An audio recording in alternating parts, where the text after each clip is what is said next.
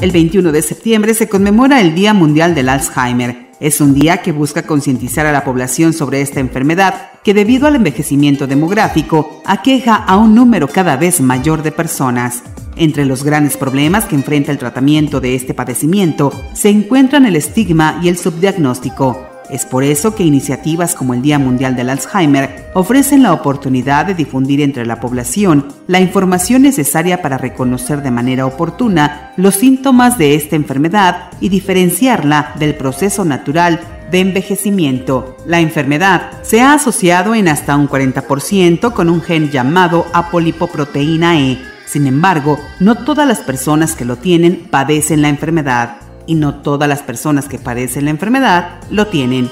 También se ha asociado a ciertos factores relacionados con el estilo de vida y se ha concluido que una alimentación nutritiva, actividad física y participación en actividades sociales y mentalmente estimulantes pueden ayudar a mantener a una persona sana.